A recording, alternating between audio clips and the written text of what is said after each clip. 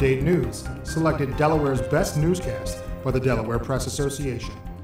Governor Jack Markell has signed into law a bill that encourages businesses to hire recent combat veterans.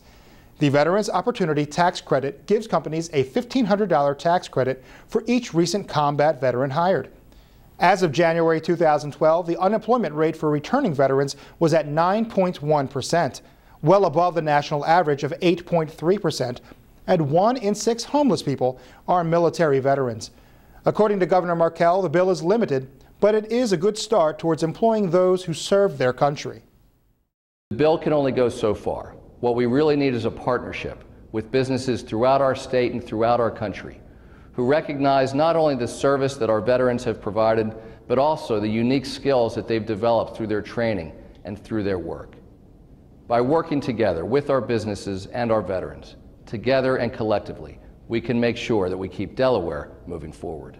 The new tax credit continues for three years after hire, giving businesses up to $4,500 in credits for each combat veteran they employ.